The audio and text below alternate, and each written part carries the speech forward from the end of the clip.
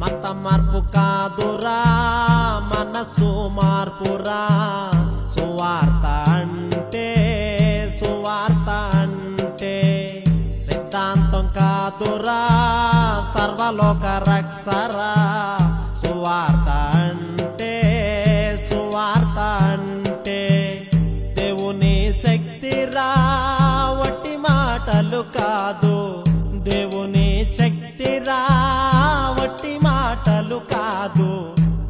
నిండబెట్టేది కాదు. జీవితాలు మార్చేదిరా. మత మార్పు కాదురా. మనసు మార్పురా. సువార్త అంటే సువార్త అంటే సిద్ధాంతం కాదురా. సర్వలోక రక్షరా. సువార్త అంటే అందరికీ శుభాభివందనాలు. భారతదేశ క్రైస్తవ సంఘ చరిత్ర. ఈ సమాచారంలో నాలుగవ భాగం. ఈరోజు మొఘలుల పరిపాలనలో జరిగిన సంఘటనలు తెలుసుకుందాం. వీరి పరిపాలన కాలంలో డి. రెక్కి అనే క్రైస్తవ మిషనరీ దేవుని పరిచర్యలో మిక్కిలి సేవ జరిగించాడు. ఆ సమయంలో అంటే పదిహేను వందల యాభై రెండు పదహారు వందల పది మధ్యకాలంలో జరిగిన కొంత సమాచారం తెలుసుకుందాం. జసూట్ మిషనరీలు మొఘలు రాజులను మార్చటం వలన ప్రజలు కూడా మార్చగలము అనుకున్నారు. ఆ జెసూట్ మిషనరీలు మొఘలుల రాజులను మార్చారు. ఇలాగే ప్రజలందరినీ కూడా మార్చగలం అనుకున్నారు. వారిలో యేసుక్రీస్తుని గూర్చి తెలియ తెలియజేయటకుని నిర్ణయించుకున్నారు. అయితే అంతగా విజయం సాధించలేకపోయారు. ఆగ్రాలోని రోమన్ కేథలిక్ పా పాత సమాధుల ప్రదేశం కూడా మొఘలుల పరిపాలనలో ఆ రాజులు ఇచ్చింది. అక్బరు జహంగీరు క్రైస్తవుల పట్ల పట్ల ప్రేమ కలిగిన వారై వారికి సహాయం చేయటకు శ్రద్ధ చూపారు. డి. రిక్కీ అనే వ్యక్తి ఇదే విధంగా చైనాలో కూడా ఇట్టి ప్రయత్నమే చేశాడు.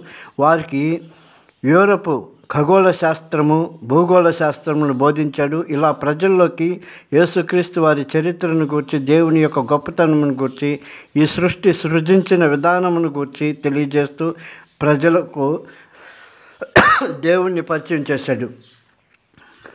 ప్రొటెస్టెంట్ మిషనరీలు పదిహేను వందల పదిహేడులో జరిగిన మతోద్ధరణ తర్వాత డెన్మార్క్ రాజైన నాలుగవ ఫెడరిక్ పదహారు వందల పంతొమ్మిది పదిహేడు వందల ముప్పై కాలంలో ప్రథమముగా మన దేశానికి బట్టలోమయ్యి జగిన్లాగ్ను మరియు హెన్రీ ఫ్లూట్ షా అను యువకులను లోతరన్ మిషనరీలుగా పంపారు మన దేశానికి. పదిహేడు వందల ఆరులో వీరే భారతదేశానికి వచ్చిన ప్రథమ ప్రొటెస్టెంట్ మిషనరీలు.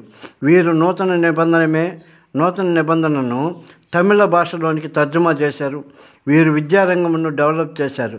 ఈ విధంగా విద్యను ప్రజలకు అందుబాటులోకి తెస్తూ దేవుని గురించి ప్రజలకు తెలియజేస్తూ దేవుని సేవ చేశారు. మన దేశంలో విద్యారంగం అభివృద్ధి ఎంతో అభివృద్ధి చేశారు.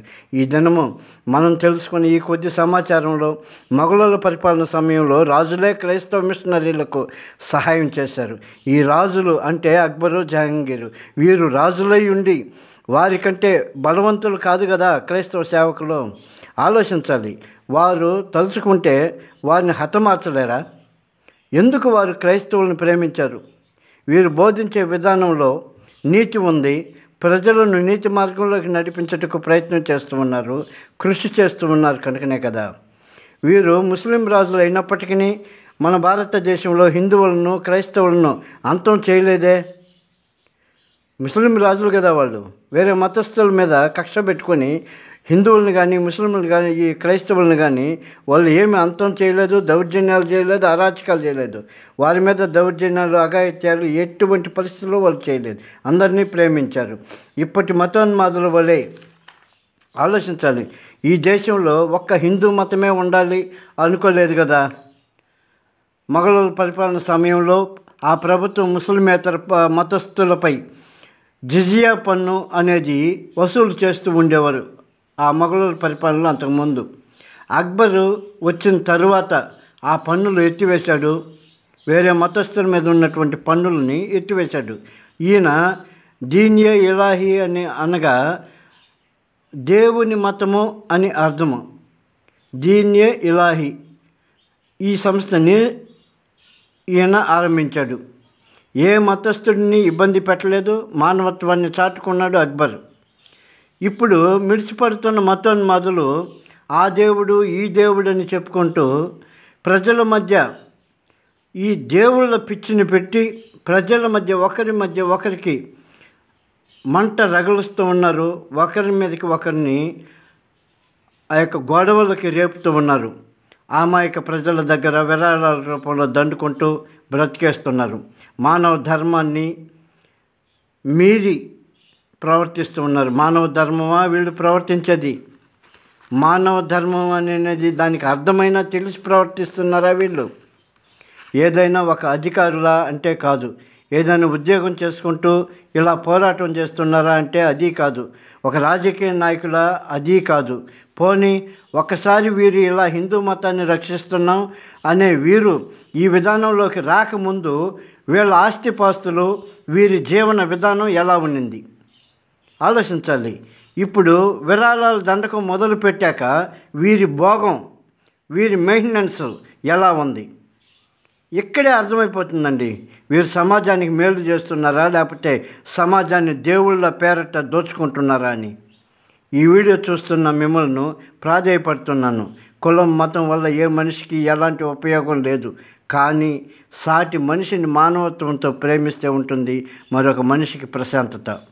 ఏది మీలో ఏది మనిషికి ఉపయోగపడుతుందో మీరే ఆలోచించాలి.